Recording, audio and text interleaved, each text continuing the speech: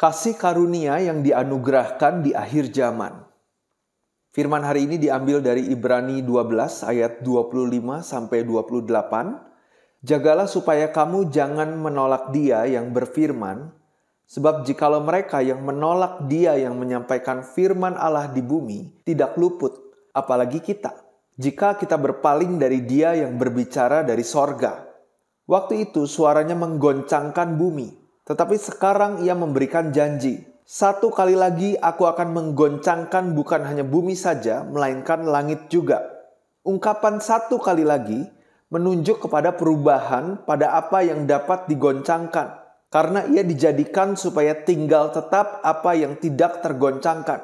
Jadi, karena kita menerima kerajaan yang tidak tergoncangkan, marilah kita mengucap syukur dan beribadah kepada Allah menurut cara yang berkenan kepadanya dengan hormat dan takut. Inilah firman Tuhan, amin. Shalom saudara, akhir-akhir ini banyak sekali orang-orang percaya punya iman kepercayaan bahwa percaya Tuhan tanpa sungguh-sungguh menerima firman Alkitab itu cukup. Yang penting aku percaya Yesus, aku selamat tanpa perlu menerima firman Tuhan. Tapi di ayat firman hari ini dikatakan, janganlah kita menolak Tuhan yang berfirman. Kenapa? Karena jika kita menolak firman Tuhan, kita tidak luput. Maksudnya, tidak luput dari penghakiman Tuhan. Saat Tuhan Yesus datang ke bumi dan menyampaikan firman, orang-orang Israel menolak Tuhan yang berfirman kepada mereka. Mereka menolak firman Tuhan, sehingga mereka menerima penghakiman Tuhan. Ini adalah peringatan untuk di kemudian hari, yaitu di akhir zaman, di zaman kita ini. Dikatakan, satu kali lagi Suara Tuhan, firman Tuhan menggoncangkan bukan bumi saja, tapi langit juga. Saudara, bumi dan langit ini memiliki makna rohani. Bumi adalah orang yang duniawi. Langit atau terjemahan lainnya sorga adalah orang yang sorgawi atau orang yang rohani. Jadi maksudnya, firman Tuhan akan menggoncangkan orang-orang duniawi dan juga menggoncangkan orang-orang yang rohani. Tujuannya dicatat di ayat berikutnya yaitu di Ibrani 12 ayat 27. Yang terjemahan yang lebih tepatnya sebagai berikut, untuk membuang semua yang tergoncangkan agar hanya yang tidak tergoncangkan yang bertahan. Jadi maksudnya dari orang percaya, dari orang-orang rohani, Tuhan menguji, menyaring lagi dengan firman Tuhan dan hasilnya ada yang tergoncangkan, yang artinya ada yang gugur, ada yang tidak tergoncangkan, yang artinya lulus. Mari kita baca 1 Petrus 4 ayat 17 sampai 18. Karena sekarang telah tiba saatnya penghakiman dimulai dan pada rumah Allah sendiri yang harus pertama-tama dihakimi. Dan jika penghakiman itu dimulai pada kita, bagaimanakah kesudahannya dengan mereka yang tidak percaya pada Injil Allah? Dan jika orang benar hampir-hampir tidak diselamatkan, apakah yang akan terjadi dengan orang fasik dan orang berdosa? Dikatakan, rumah Allah yang pertama-tama dihakimi. Kata rumah adalah oikos, bahasa Yunaninya, yang artinya adalah keluarga atau keturunan. Jadi maksudnya rumah Allah ini adalah anak-anak Allah, keluarga Allah, keturunan anak-anak Allah. Anak-anak Allah yang pertama-tama dihakimi. Dikatakan di ayat 18, orang benar hampir-hampir tidak diselamatkan. Kata hampir bahasa Yunaninya adalah molis, yang artinya sangat sulit. Jadi, anak-anak Allah, orang benar, hampir-hampir tidak diselamatkan. Makna dari bahasa aslinya sangat sulit diselamatkan. Ya, anak-anak Allah sangat sulit diselamatkan. Maka dari itu Alkitab berkata, kita yang percaya Tuhan tidak boleh menganggap diri kita sudah teguh berdiri. Jika menyangka aku sudah teguh berdiri, sudah benar, sudah kuat, kita bisa jatuh. Lalu Alkitab juga berkata, di akhir zaman Tuhan akan mengukur bait suci dan mengukur orang-orang yang beribadah di dalam bait suci. Mari kita baca Wahyu 11 ayat 1. Kemudian diberikanlah kepadaku sebatang buluh seperti tongkat pengukur rupanya. Dengan kata-kata yang berikut. Bangunlah dan ukurlah bait suci Allah dan mesbah dan mereka yang beribadah di dalamnya. Dikatakan umat Tuhan diukur dengan tongkat pengukur untuk menentukan apakah kehidupan imannya memenuhi syarat atau standar Tuhan atau tidak, masuk ukurannya Tuhan atau tidak. Nah, standar kehidupan iman atau ukuran yang sejati yang dimaksud adalah Alkitab. Karena Yesus berkata, firman Tuhan akan menjadi hakim di akhir zaman. Jadi tongkat pengukur ini adalah simbol dari firman Tuhan. Kita harus pastikan kehidupan iman kita selaras dengan firman Tuhan sehingga masuk ukuran, masuk standarnya Tuhan. Mari kita baca Roma 8 ayat 1. Demikianlah sekarang tidak ada penghukuman bagi mereka yang ada di dalam Kristus Yesus. Dikatakan orang yang ada di dalam Yesus tidak menerima penghukuman, tidak menerima penghakiman. Nah, apa yang dimaksud ada di dalam Yesus? Yesus berkata, "Jikalau kamu tinggal dalam aku dan firmanku tinggal di dalam kamu." Ini artinya ada di dalam Yesus, hidup di dalam Yesus. Jika firman Tuhan tinggal di dalam kita. Lalu mari kita baca 1 Yohanes 2 ayat 6. Barang siapa mengatakan bahwa ia ada di dalam dia, ia wajib hidup sama seperti Kristus telah hidup. Ayat-ayat ini menjelaskan bahwa orang yang tinggal di dalam Yesus adalah orang yang tinggal di dalam firman yang hidup sama seperti kehidupan Yesus. Kepada orang yang seperti ini tidak ada penghukuman atau penghakiman. Karena kepada orang yang bertobat Tuhan mengampuni semua dosanya. Hanya orang yang seperti ini yang tidak akan tergoncangkan oleh suara atau firman Tuhan di akhir zaman. Dikatakan di ayat firman hari ini agar tidak tergoncangkan atau tidak gugur iman kita. Yang pertama, kita harus menerima firman sorga. Apa maksudnya? Ini adalah firman murni tanpa dicampur pikiran manusia, tanpa dicampur perkataan manusia, tanpa dicampur tafsiran manusia. Yang kedua, jangan tergoncangkan atau jangan gugur imannya dengan suara Tuhan atau firman Tuhan. Yang ketiga, kita disuruh mengucap syukur dan beribadah dengan cara yang berkenan dengan hormat dan takut. Dikatakan suara Tuhan, firman Tuhan dari sorga ini menggoncangkan orang-orang duniawi dan orang-orang rohani. Nah, apa itu goncangan dari suara Tuhan, firman Tuhan ini? Goncangan suara Tuhan atau firman Tuhan ini yang pertama adalah firman yang keras atau sulit. Contoh, mari kita baca Yohanes 6 ayat 60 sampai 61. Sesudah mendengar semuanya itu, banyak dari murid-murid Yesus yang berkata, "Perkataan ini keras. Siapakah yang sanggup mendengarkannya?" Yesus yang di dalam hatinya tahu bahwa murid-muridnya bersungut-sungut tentang hal itu, berkata kepada mereka, "Adakah perkataan itu menggoncangkan imanmu?" Jadi banyak murid-murid Yesus berkata setelah Yesus berfirman. Ya, mereka menanggapi firman Yesus dikatakan firmanmu ini keras. Kata keras bahasa Yunaninya adalah skleros yang artinya susah, sulit dimengerti. Nah jadi maksudnya saat itu banyak sekali orang-orang yang tergoncangkan termasuk 70 murid Yesus yang lain. Kenapa? Karena firman yang keras atau terjemahan yang lebih tepatnya firman yang sulit karena mereka tidak mengerti firman Tuhan. Mari kita baca Yohanes 6 ayat 66. Mulai dari waktu itu banyak murid-muridnya mengundurkan diri dan tidak lagi mengikut dia. Nah jadi kenapa bisa tergoncangkan dan gugur imannya seperti ini? Karena menerima firman yang sulit dan mereka tidak mengerti. Lalu mereka menyerah. Nah maka dari itu kita tidak boleh tergoncangkan atau gugur iman kita karena kita menyerah menerima firman di Alkitab yang begitu sulit. Kita nggak mau tahu mengenai ini. Nah, maka dari itu kita harus sungguh-sungguh memohon kepada Tuhan, sungguh-sungguh berusaha keras untuk terus-menerus belajar firman Tuhan agar kita tidak tergoncangkan. Lalu goncangan suara Tuhan atau goncangan firman Tuhan yang kedua adalah firman yang digenapi. Mari kita baca Matius 2 ayat 3 Ketika Raja Herodes mendengar tentang kelahiran Tuhan, terkejutlah ia beserta seluruh Yerusalem.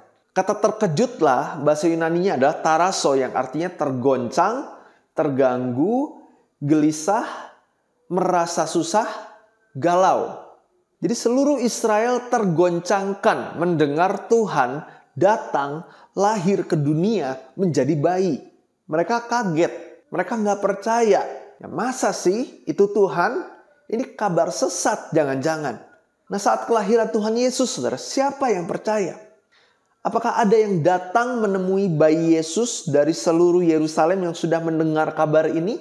Yang datang malahan orang-orang kafir, orang-orang majus, dan para gembala-gembala yang miskin kan? Selain orang-orang ini tidak ada yang percaya kepada kabar firman yang sedang digenapi. Sehingga tidak ada yang datang, tidak ada yang beribadah, memberikan korban persembahan kepada bayi Yesus. Lalu contoh yang berikutnya, ketika Yesus memulai pelayanan umumnya dengan membacakan kitab Yesaya di rumah ibadah.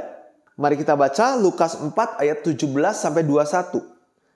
Kepadanya diberikan kitab Nabi Yesaya dan setelah dibukanya ia menemukan nas di mana ada tertulis, Roh Tuhan ada padaku, oleh sebab ia telah mengurapi aku untuk menyampaikan kabar baik kepada orang-orang miskin. Dan ia telah mengutus aku untuk memberitakan pembebasan kepada orang-orang tawanan dan penglihatan bagi orang-orang buta untuk membebaskan orang-orang yang tertindas. Untuk memberitakan tahun rahmat Tuhan telah datang. Kemudian ia menutup kitab itu, memberikannya kembali kepada pejabat, lalu duduk dan mata semua orang dalam rumah ibadat itu tertuju kepadanya. Lalu ia memulai mengajar mereka katanya, pada hari ini genaplah nas ini sewaktu kamu mendengarnya. Maksud Yesus mengatakan ini adalah, akulah orang yang dimaksud. Akulah Mesias yang sudah dinubuatkan di kitab Yesaya tersebut. Lalu apa respon orang-orang saat itu? Apakah mereka percaya? Tidak. Mereka berkata mana mungkin orang ini kan cuma anaknya Yusuf. Dan akhirnya mereka ingin membunuh Yesus dengan mendorong Yesus ke tebing, tetapi Yesus luput dari mereka. Nah, kenapa hal ini bisa terjadi? Karena mereka tergoncangkan dengan firman yang Yesus sampaikan tentang firman yang sedang digenapi. Nah, kalau kita renungkan, saudara, kalau kita ada di situ saat itu, bukankah kita pun sangat-sangat bisa tergoncangkan dengan perkataan Yesus ini? Jadi, apa alasannya mereka bisa tergoncangkan? Karena tidak mengerti, karena tidak percaya, karena tidak mengenal. Hasilnya, karena mereka tidak mengenal dan percaya Yesus, mereka menyalibkan Yesus. Dimulai dari karena tidak mengenalinya, tidak memahaminya. Tapi kalau mereka sungguh-sungguh mengenali Yesus melalui firman Tuhan, firman Tuhan yang jauh-jauh hari sudah bernubuat tentang kedatangan Tuhan Yesus dan tentang pekerjaan Tuhan Yesus, mereka pasti akan mengenal dan percaya Nah, jadi sekali lagi karena tidak mengerti firman sehingga saat firman tersebut digenapi, mereka jadi tidak percaya. Mereka menganggap Yesus bukanlah Mesias. Maka dari itu Yesus berkata, hidup kekal adalah mengenal Yesus. Cara mengenal Yesus, aplikasi mengenal Yesus hanyalah melalui kitab suci, melalui Alkitab. Karena Yesus berkata seluruh kitab suci mulai dari kitab kejadian dan seterusnya hanya menyaksikan Yesus. Jadi kalau kita tidak mau mengenal dengan dalam mulai dari kitab kejadian dan seterusnya yang hanya menyaksikan tentang Yesus, kita tidak mengerti tentang Yesus yang sejati yang sebenarnya. Nah, Saudara, di ayat firman hari ini dikatakan firman yang menggoncangkan 2000 tahun yang lalu, banyak orang tergoncangkan ini, ini akan diberikan satu kali lagi di masa depan. Mari kita baca Ibrani 12 ayat 26. Waktu itu suaranya menggoncangkan bumi. Tetapi sekarang ia memberikan janji. Satu kali lagi aku akan menggoncangkan bukan hanya bumi saja, melainkan langit juga. Ini juga dicatat di 1 Petrus 1 ayat 13. Mari kita baca. Sebab itu siapkanlah akal budimu, waspadalah dan letakkanlah pengharapanmu seluruhnya atas kasih karunia yang dianugerahkan kepadamu pada waktu penyataan Yesus Kristus. Dikatakan akal budi, yaitu pikiran, pengharapan kita harus sepenuhnya ditujukan kepada kasih karunia yang Tuhan anugerahkan. Pada penyataan Yesus Kristus yang dimaksud adalah kedatangan kedua, yaitu akhir zaman. Kasih karunia, apakah itu kasih karunia? Alkitab mengajarkan kita kasih karunia adalah Tuhan Yesus Kristus. Itulah kasih karunia. Tuhan Yesus Kristus kan. Mari kita baca Yohanes 1 ayat 14. Firman itu telah menjadi manusia dan diam di antara kita dan kita telah melihat kemuliaannya yaitu kemuliaan yang diberikan kepadanya sebagai anak tunggal Bapa, penuh kasih karunia dan kebenaran. Jadi kasih karunia adalah Tuhan Yesus Kristus. Tuhan Yesus Kristus itu adalah firman yang menjadi manusia. Jadi Yesus adalah firman. Ini penuh kasih karunia. Nah jadi kasih karunia artinya adalah Tuhan Yesus. Tuhan Yesus artinya adalah firman Alkitab. Jadi firman Alkitab Tuhan Yesus ini sama. Inilah kasih karunia. Nah lebih detail lagi, seperti apakah kasih karunia Tuhan yang adalah firman Tuhan, yang adalah Tuhan Yesus. Lebih detail lagi seperti apakah ini mari kita baca Efesus 3 ayat 2 sampai 5 dan ayat 8. Memang kamu telah mendengar tentang tugas penyelenggaraan kasih karunia Allah yang dipercayakan kepadaku karena kamu yaitu bagaimana rahasianya dinyatakan kepadaku dengan wahyu seperti yang telah kutulis di atas dengan singkat.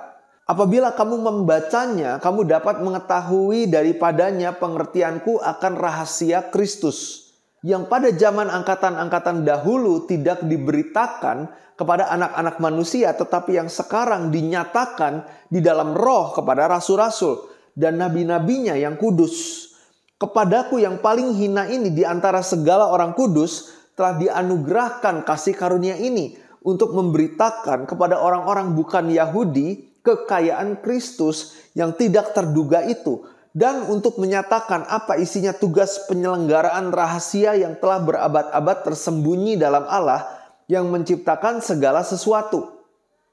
Nah, jadi ayat-ayat ini berbicara tentang kasih karunia Allah, ya, kasih karunia Nah, kasih karunia yang dimaksud di sini ini apa? Ini dikatakan tugas penyelenggaraan kasih karunia Allah. Jadi tugas penyelenggaraan Tuhan ini adalah kasih karunia Allah. Rahasia tugas penyelenggaraan kasih karunia Allah. Dicatat seperti itu kan? Rahasia Kristus yang pada zaman dulu tidak diberitakan tapi sekarang dinyatakan. Ini adalah kekayaan Kristus isi tugas penyelenggaraan rahasia yang tersembunyi dalam Allah. Nah, inilah kasih karunia Allah. Nah, jadi kalau kita rangkum kasih karunia Allah, ini adalah isi dari tugas penyelenggaraan rahasia. Ya, isi dari tugas penyelenggaraan rahasia Allah maksudnya adalah bagaimana Tuhan mengerjakan pekerjaan penyelamatan. Ini adalah isi dari pekerjaan Tuhan. Dari zaman ke zaman, dari zaman dulu terus-menerus sampai akhir zaman. Cara kerja Tuhan, pekerjaan Tuhan yang sangat dalam dan banyak. Nah, ini disandingkan dengan kekayaan Kristus. Kenapa? Karena Kristus adalah firman Tuhan. Firman Tuhan yang begitu kaya. Nah, jadi hal yang harus kita pahami, konsep kasih karunia Tuhan ini apa? Ini adalah isi tugas penyelenggaraan Allah. Mari kita baca kisah 20 ayat 24. Tetapi aku tidak menghiraukan nyawaku sedikit pun, asal saja aku dapat mencapai garis akhir dan menyelesaikan pelayanan yang ditugaskan oleh Tuhan Yesus kepadaku untuk memberi kesaksian tentang Injil kasih karunia Allah. Dikatakan kasih karunia Allah adalah Injil, firman Tuhan. Kalau kita kembali ke 1 Petrus 1 ayat 13 dikatakan ada kasih karunia yaitu ada firman Tuhan yang Tuhan anugerahkan di akhir zaman. Apa yang dimaksud ada kasih karunia firman Tuhan yang Tuhan anugerahkan di akhir zaman ini? Mari kita baca Wahyu 22 ayat 10. Lalu ia berkata kepadaku, jangan memetraikan perkataan-perkataan nubuat dari kitab ini, sebab waktunya sudah dekat. Saudara kata memetraikan di sini adalah mengunci. Jadi maksudnya jangan mengunci perkataan-perkataan nubuat dari kitab ini. Maksud kitab ini adalah Biblion, Alkitab. Jangan mengunci perkataan-perkataan nubuat dari Alkitab. Sebab waktunya sudah dekat. Waktunya sudah dekat yang dimaksud adalah akhir zaman. Di akhir zaman jangan kunci perkataan-perkataan nubuat dari Alkitab. Saudara kata kunci di sini, memetraikan atau mengunci, jangan kunci. Ini maksudnya bukan secara hurufiah, Alkitabnya itu dikunci sehingga orang tidak bisa buka. Tapi maksudnya dikunci di sini adalah maknanya, arti dari nubuat-nubuat firman Tuhan di Alkitab. Artinya jangan kunci. Mari kita baca juga Daniel 12 ayat 4. Tetapi engkau Daniel sembunyikanlah segala firman itu dan meteraikanlah kitab itu sampai pada akhir zaman. Banyak orang akan menyelidikinya dan pengetahuan akan bertambah. Nah, lagi-lagi di sini ini bukan berbicara secara hurufiah, sembunyikanlah semua firman Tuhan disembunyikan di dalam tanah contohnya, lalu e, bukakanlah itu di akhir zaman. Tidak kan? Sepanjang sejarah firman Tuhan dinyatakan, bukan disembunyikan secara hurufiah. Nah, jadi sembunyikan di sini adalah makna dari firman Tuhan tersebut, dari isi Alkitab, tersembunyi, termetrai. Lalu ini akan terus tersembunyi atau termetrai isinya atau firmannya, maknanya sampai pada akhir zaman. Lalu mari kita baca Daniel 12 ayat 9 sampai 10.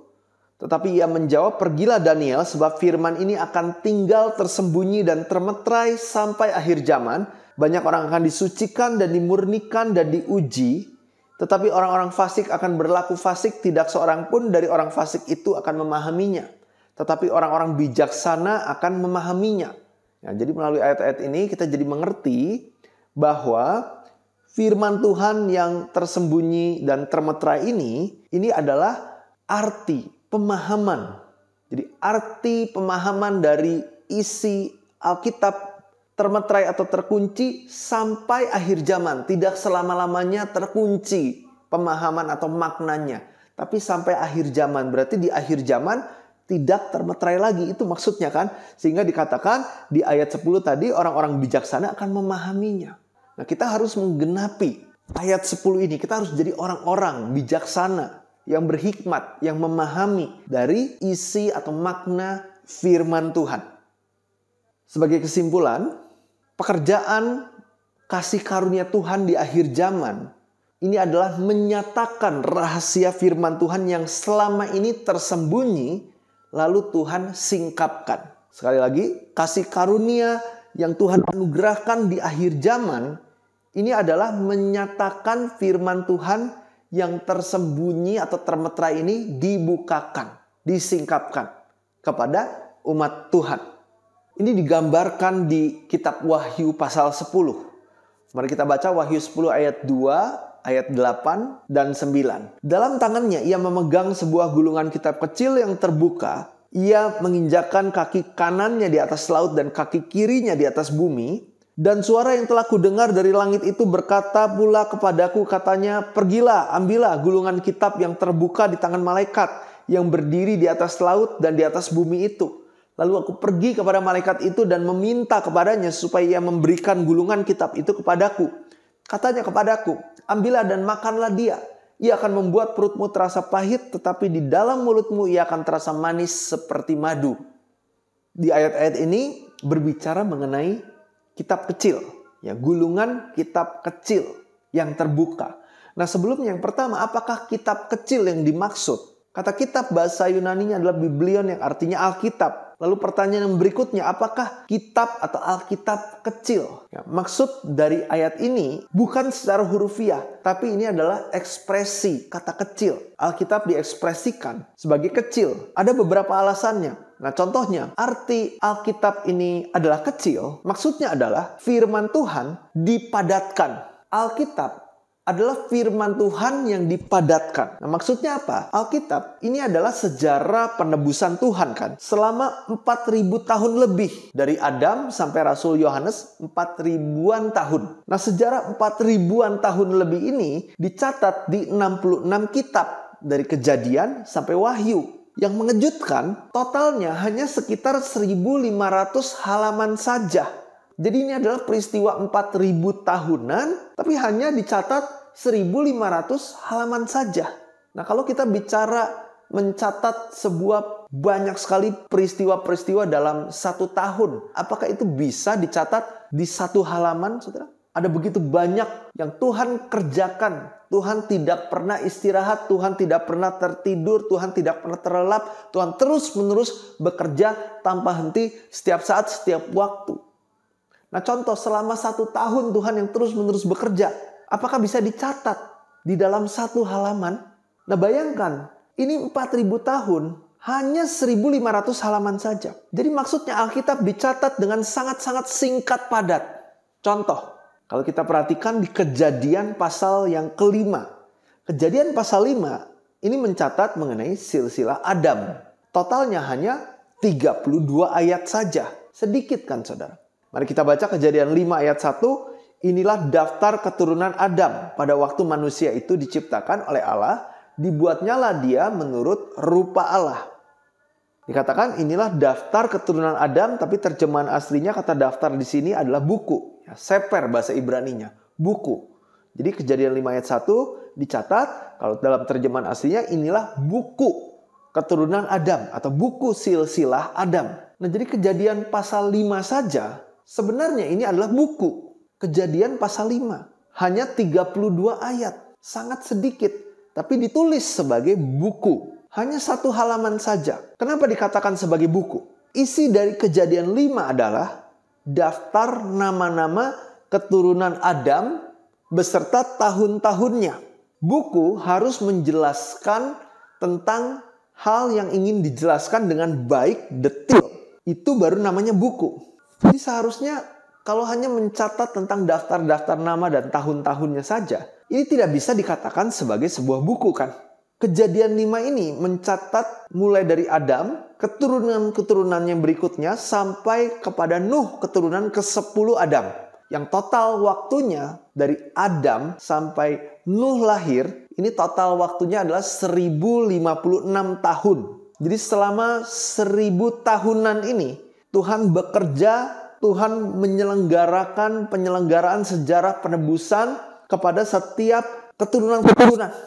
Nah, khususnya keturunan-keturunan Adam ini adalah tokoh-tokoh utama dalam pekerjaan sejarah penebusan Tuhan. Nah, jadi kalau kita melihat kejadian 5, ini terlihat kecil. Tapi kalau digali, maka ada sejarah penebusan Tuhan selama seribu tahunan. Di dalamnya ada tugas penyelenggaraan kasih karunia Allah. Jadi sejarah yang Tuhan kerjakan selama seribu tahunan ini dirangkum, dicatat di kejadian pasal 5. Yang waktu diteliti ada begitu banyak tugas penyelenggaraan kasih karunia Allah. Yang kedua, arti kitab kecil yang terbuka adalah dikatakan di Wahyu 10 ayat 2, kitab kecil ini terbuka. Artinya sebelumnya tertutup kan? Mari kita baca Wahyu 5 ayat 1. Maka aku melihat di tangan kanan dia yang duduk di atas tahta itu sebuah gulungan kitab yang ditulisi sebelah dalam dan sebelah luarnya dan dimetrai atau dikunci dengan tujuh metrai atau tujuh kunci. Jadi kitab ini dikunci dengan tujuh metrai atau tujuh kunci. Kitab di sini adalah Biblion yang artinya Alkitab kan. Jadi dijelaskan Alkitab adalah kitab yang dikunci dengan tujuh kunci. Nah maka dari itu perjanjian lama disebut sebagai kitab yang dimetrai atau dikunci. Ini ada ayatnya. Ya, contoh di Yesaya 29 ayat 11. Maka bagimu penglihatan dari semuanya itu seperti isi sebuah kitab yang termetrai. Apabila itu diberikan kepada orang yang tahu membaca dengan mengatakan baiklah baca ini, maka ia akan menjawab, "Aku tidak dapat." Sebab kitab itu termeterai. Karena termeterai atau terkunci, maka orang yang membacanya tidak mengerti. Ya seperti contoh kita baca, kita bisa baca.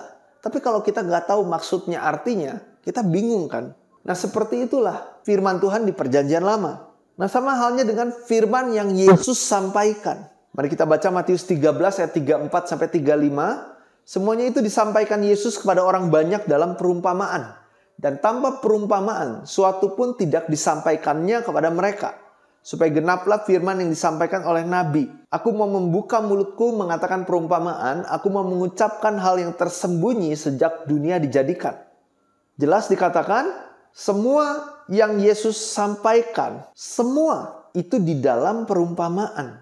Ditegaskan, apa pun itu, suatu pun yang Yesus sampaikan, itu semuanya perumpamaan. Dan ini sudah dinubuatkan bahwa Tuhan akan menyampaikan firman dengan perumpamaan. Nah, jadi kita bisa lihat bukan hanya di perjanjian lama saja, tapi di perjanjian baru mulai dari firman yang Yesus sampaikan secara langsung, itu semua adalah perumpamaan yang artinya termetrai, terkunci kan. Kalau nggak mengerti, itu terkunci. Nah pertanyaannya, kenapa tidak diberitahu aja secara terus terang? Mari kita baca jawaban Yesus di Yohanes 16 ayat 12. Masih banyak hal yang harus kukatakan kepadamu tetapi sekarang kamu belum dapat menanggungnya. Jadi maksudnya kalau diberitahu maknanya sekalipun saat itu orang-orang belum bisa menerimanya. Jadi percuma kalau dikasih tahu juga. Seperti kalau kita mau memberitahu atau menjelaskan hal-hal yang sulit kepada bayi atau kepada anak kecil, mereka kan nggak akan ngerti. Jadi buat apa diomongin juga? Nah, jadi Alkitab yang termetrai atau terkunci dengan tujuh metrai ini akan dibuka satu persatu di akhir zaman. Jadi Tuhan membukanya secara progresif satu-satu sampai akhirnya semuanya dibuka. Mari kita baca Yohanes 16 ayat 25. Semuanya ini kukatakan kepadamu dengan kiasan. Akan tiba saatnya aku tidak lagi berkata-kata kepadamu dengan kiasan. Tetapi terus terang memberitakan Bapa kepadamu. Memberitakan firman dengan terus terang maksudnya sama dengan membuka artinya atau membuka metrai atau kunci yang memetraikan Alkitab. Tuhan Yesus berjanji akan melakukannya di kemudian hari yaitu maksudnya di akhir zaman.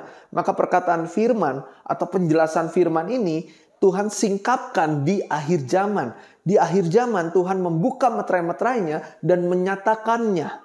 Di Alkitab ada begitu banyak tanda-tanda akhir zaman yang Alkitab catat. Tanda yang terbesar di akhir zaman bagi Tuhan, di mata Tuhan, tanda yang terbesar di akhir zaman ini adalah Tuhan membuka sepenuhnya meterai-meterai Alkitab, menjelaskan sepenuhnya Alkitab dengan terus terang, dengan jelas untuk semua umat pilihan. Lalu yang ketiga, kita disuruh memakan kitab kecil yang terbuka. Mari kita baca Wahyu 10 ayat 9. Lalu aku pergi kepada malaikat itu dan meminta kepadanya supaya ia memberikan gulungan kitab itu kepadaku.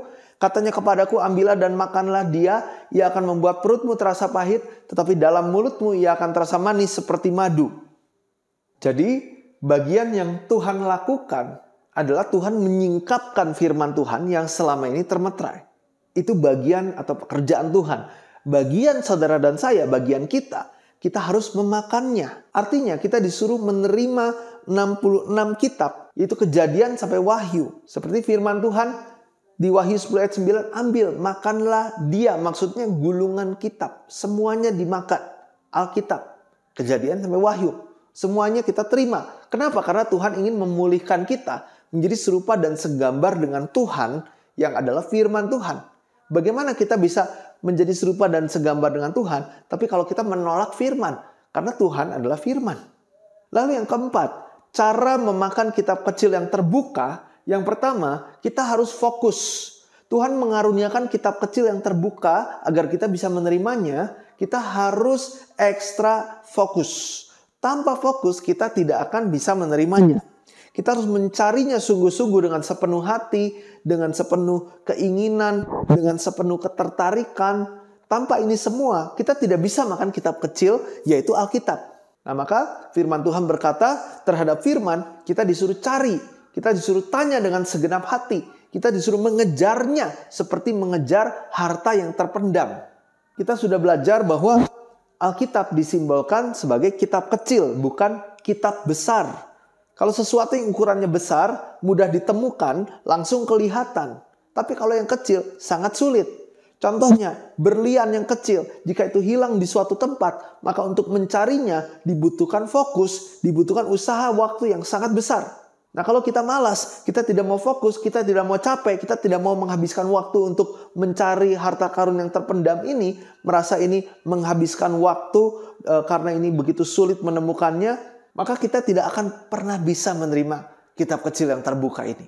Kita tidak menerima kasih karunia yang Tuhan anugerahkan di akhir zaman ini. Tapi kita harus dengan segenap hati, segenap jiwa, segenap kekuatan, harus dengan sungguh-sungguh mencarinya, menerimanya, maka kita dikaruniakan ini semua. Nah, kepada orang-orang yang sungguh-sungguh Tuhan mengaruniakan kita memakan kitab kecil yang terbuka. Lalu yang kedua, cara memakan kitab kecil yang terbuka adalah mengerti dan percaya. Bukan hanya mendengar saja tapi mengerti. Contoh, suatu hari Yesus menyampaikan firman Tuhan bahwa jika semua orang tidak makan dagingku dan minum darahku, maka tidak akan mendapat hidup kekal.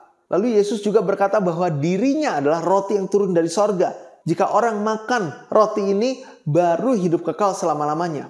Nah setelah mendengar firman Yesus yang seperti ini, murid-murid merespon, perkataan ini keras atau sulit. Siapa yang sanggup mendengarnya? 70 murid Yesus saja gugur. Orang-orang yang lain pun pada gugur. Mereka tidak bisa menerima firman Yesus karena mereka tidak mengerti artinya sehingga mereka tidak lagi mengikuti Yesus lagi. Sehingga mereka tidak melakukan firman yang Yesus katakan. Mereka tidak makan daging Yesus mereka tidak minum darah Yesus. Maka artinya apa? Mereka tidak punya hidup yang kekal. Mereka tidak menerima kasih karunia yang menyelamatkan mereka Nah, jadi saudara, terhadap firman Tuhan, sudut pandang kita harus berubah.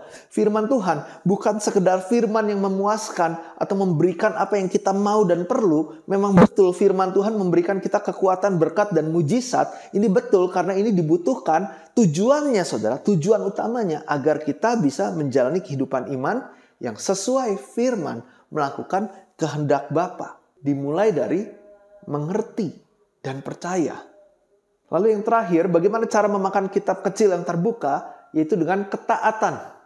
Yakobus 1 ayat 22 dan ayat 25 mari kita baca. Tetapi hendaklah kamu menjadi pelaku firman dan bukan hanya pendengar saja. Sebab jika tidak demikian kamu menipu diri sendiri. Tetapi barang siapa meneliti hukum yang sempurna. Yaitu hukum yang memerdekakan orang. Dan ia bertekun di dalamnya. Jadi bukan hanya mendengar untuk melupakannya. Tetapi sungguh-sungguh melakukannya ia akan berbahagia oleh perbuatannya.